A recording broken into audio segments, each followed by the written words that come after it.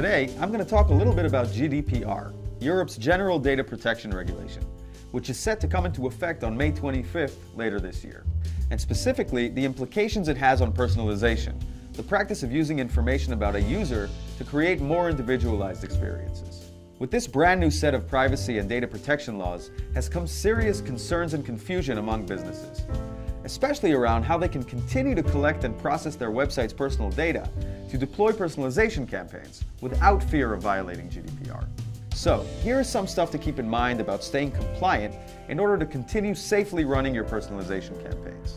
Number one, any data stored within what GDPR calls online identifiers is now considered personal data. Personal data is the main topic of GDPR, leading to a very broad scope of data owned by website owners used for personalization that's governed by GDPR.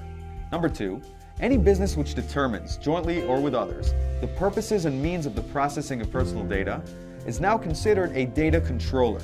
Therefore, website owners who are running personalization campaigns based on collected user data are to be considered as data controllers and are subject to the requirements laid out in the GDPR. Number three, any business that processes personal data on behalf of a data controller now serves as a data processor. A personalization vendor, such as Dynamic Yield, is operating as a data processor on behalf of its customers, who are the data controllers, and is subject as such to the rules governing the processing of personal data.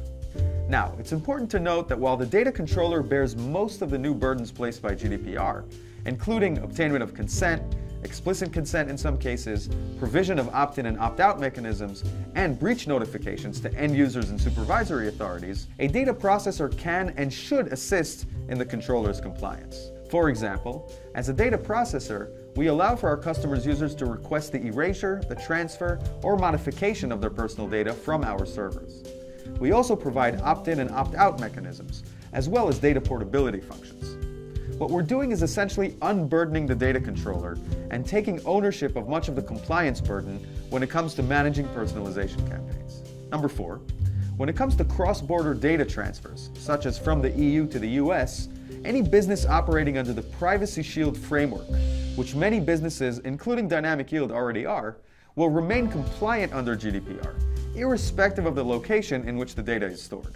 However, for the particularly concerned controllers out there, Dynamic Yield is rolling out new EU-based data centers, so controllers wishing to store their data locally can start doing so.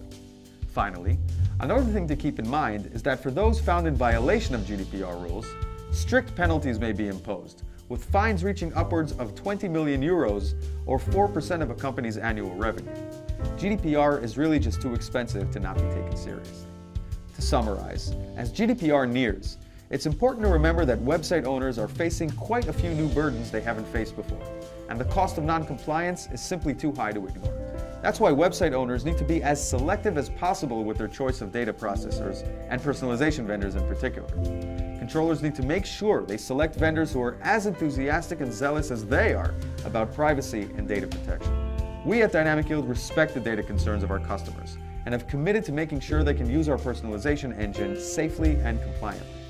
We invite all of our customers and anyone interested in Dynamic Yield to reach out to our privacy office at privacy at dynamicyield.com with any questions or concerns about our processing of end user data.